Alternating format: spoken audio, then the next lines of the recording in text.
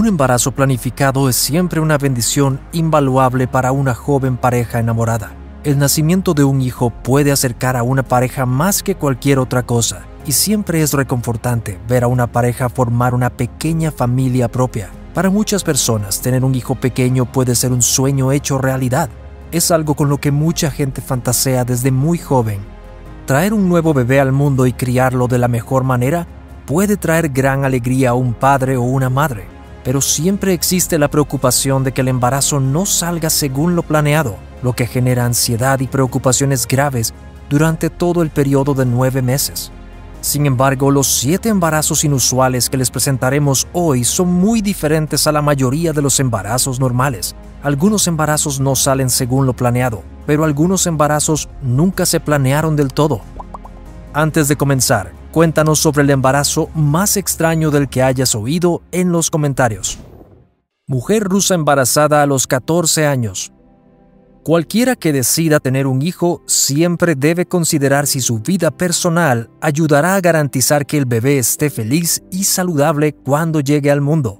Además, es importante comprender si su situación financiera es lo suficientemente estable para mantener una familia recién fundada sin tener que luchar para llegar a fin de mes. Sin embargo, administrar adecuadamente tu tiempo también juega un papel que no debe subestimarse es importante tener suficiente tiempo para dedicarlo a su cónyuge y a su nuevo hijo, para asegurarse de que ambos estén bien cuidados. A pesar de esto, hoy en día es muy común ver a jóvenes adolescentes quedar embarazadas involuntariamente, a pesar de que ellas pueden aún ser niñas que apenas se convierten en jóvenes adultas. El hecho de que la rusa Daria Sudishnikova, de 14 años, esté esperando un hijo de manera tan inesperada no es una noticia digna de un titular por sí misma, más bien son las circunstancias igualmente crueles y conmovedoras las que hacen que este embarazo sea tan único para esta joven. El embarazo de la joven no proviene de ser una adolescente descuidada, más bien proviene de un ataque brutal después de que la mujer fuera víctima de un criminal salvaje. La traumática experiencia dejó profundas heridas en el corazón y mente de la niña, por lo que no tuvo el corazón para contarles a sus padres la verdadera historia de cómo quedó embarazada. En cambio, dijo que su novio Iván, que solo tenía 11 años, era el padre biológico del niño. Antes de que Daria se decidiera a explicar las crueles circunstancias que llevaron a su embarazo, las familias de la joven futura madre y el supuesto padre se enfrentaron a un dilema emocional. Cuando las dos familias finalmente se enteraron cómo había quedado embarazada Daria, quedaron aún más desconcertados por el deseo de Iván. Él insistió en ser fiel a su novia en su nueva vida, aunque no era el padre del bebé, y ambos eran increíblemente jóvenes. Por eso sus padres incluso le permitieron mudarse a la casa familiar de Daria. Hoy en día no es raro que un padre o una madre se aterrorice de tener que criar a un hijo y a veces esto lleva a que uno de los padres abandone al otro y se escape. Sin embargo, en el caso de Iván, él hizo lo correcto y decidió quedarse con su novia cuando más lo necesitaba. Este niño de 11 años tiene una sabiduría que va más allá de su edad, y todos podríamos aprender un par de cosas de su naturaleza valiente. Papá va a tener un bebé, el hecho de que solo las mujeres puedan quedar embarazadas es una de las ideas más básicas que aprendemos desde una edad temprana. Sin embargo, una mirada a Scott Moore de California cuestiona esta idea y puede hacer que te preguntes cuánto sabes realmente sobre el mundo que te rodea. El estadounidense es solo el segundo hombre en la historia que da luz a un bebé. A este punto es posible que te preguntes cómo es que esta historia es siquiera posible. La razón por la que Scott pudo tener un hijo es que el californiano nació como una niña biológica. Dado que la cirugía de reasignación de sexo del hombre aún no se había realizado en el momento del embarazo, todavía tenía el cuerpo de una mujer desde el punto de vista biológico. El compañero de vida de Scott, Tom, también nació en un cuerpo femenino, pero ya se le realizó una cirugía de reasignación de sexo completa. Antes de que Tom decidiera dar este paso, ya había dado luz a dos hijos, lo que significa que la pareja ahora puede esperar un total de tres niños pequeños corriendo por su casa. María del Carmen Busada de Lara.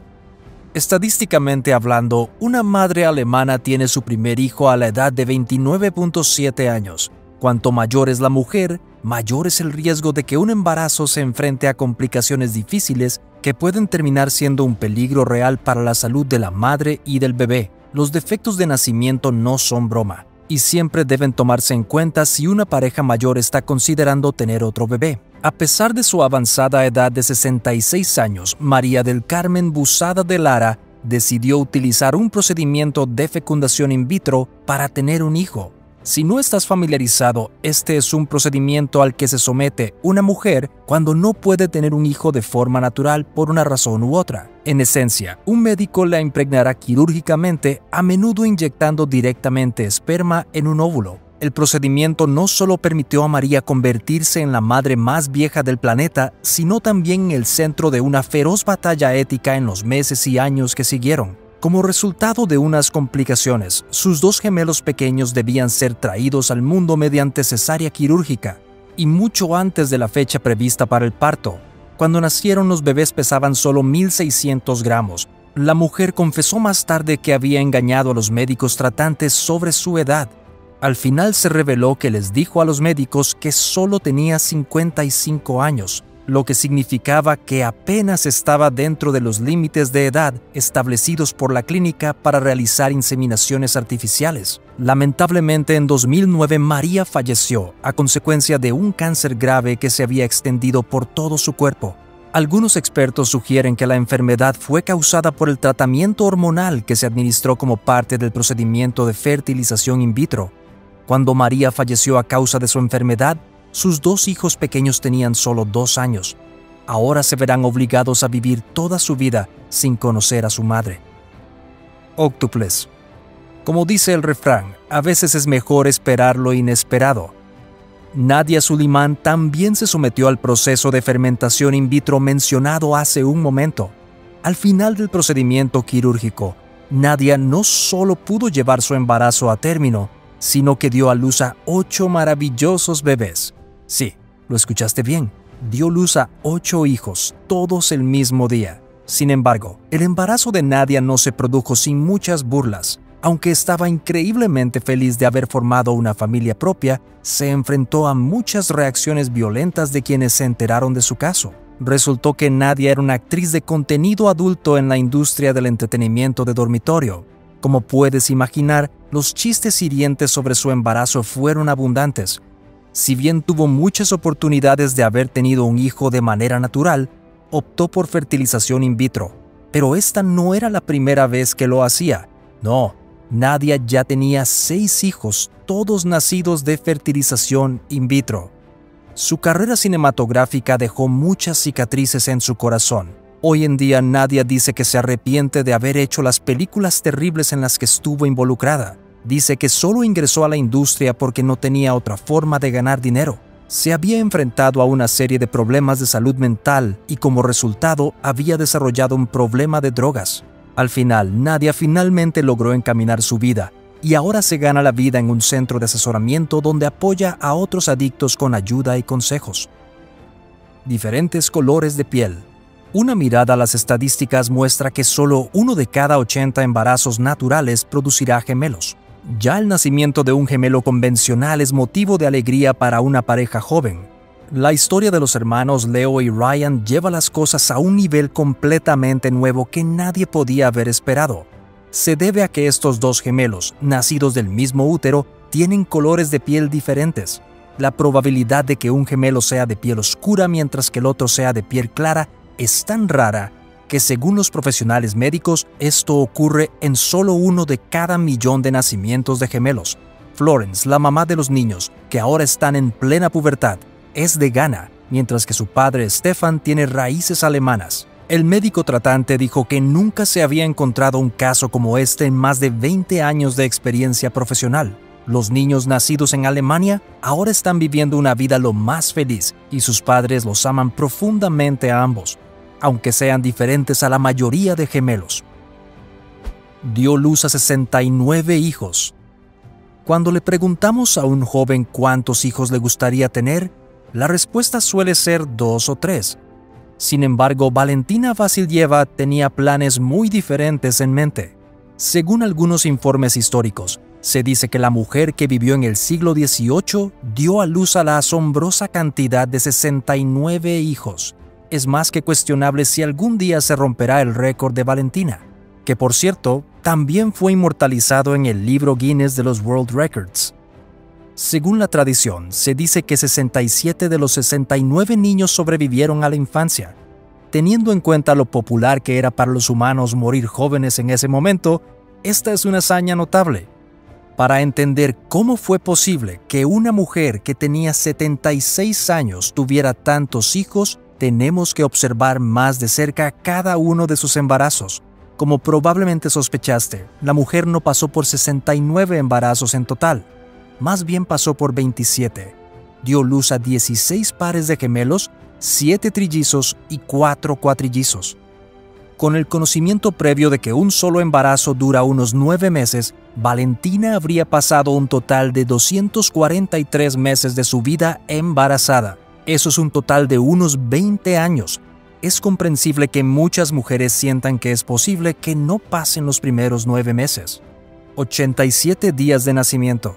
La cantidad de tiempo que una madre pasa en la sala de partos mientras intenta traer a su nuevo bebé al mundo puede ser uno de los momentos más difíciles de su vida. Estas horas están llenas de dolor extremo e incluso pueden causar trauma emocional serio para algunas mujeres que pueden cuestionar si el dolor se detendrá alguna vez. Si bien la mayoría de las mujeres se preguntan si podrán superar el proceso de parto, una mujer se vio obligada a permanecer en labor de parto por más tiempo que cualquier otra mujer en la historia. La historia de Maria Jones Elliott va más allá de lo que cualquier mujer podría imaginar. De hecho, el nacimiento de sus dos gemelas, Amy y Katie, tomó 87 días increíbles. Pero ¿cómo ocurrió eso? Cuatro meses antes de la fecha prevista, la mujer irlandesa se puso en labor de parto. La mujer sabía que se trataba de una emergencia médica que en el peor de los casos podía acabar con la vida de sus bebés. Los siguientes dos días fueron increíblemente difíciles para María. La joven no solo luchó con el fuerte dolor de parto, sino que también se preocupó por el destino incierto de sus hijos. Amy finalmente nació el 1 de junio de 2012. Dado que el bebé prematuro pesaba solo 538 gramos, fue llevado inmediatamente a la unidad de cuidados intensivos. Sin embargo, increíblemente, la labor de parto se detuvo después del nacimiento de la bebé Amy. Los médicos también se sorprendieron por completo con este evento, porque después de todo, todavía había otra niña en el útero. De hecho, pasarían 87 días completos antes de que la labor de parto comenzara de nuevo y la familia Jones Elliot pudiera dar la bienvenida a su próximo miembro de la familia. Como resultado, María pasó los 87 días completos en el hospital y visitaba a la joven Amy siempre que podía. Hoy las dos hermanas gozan de excelente salud y la familia se encuentra bastante bien. Gracias por vernos. Cuéntanos sobre el embarazo más extraño del que hayas oído hablar en los comentarios abajo. Puede que tu historia de partos sea la mejor. Presiona el botón de me gusta y haz sonar la campana de notificación para más videos.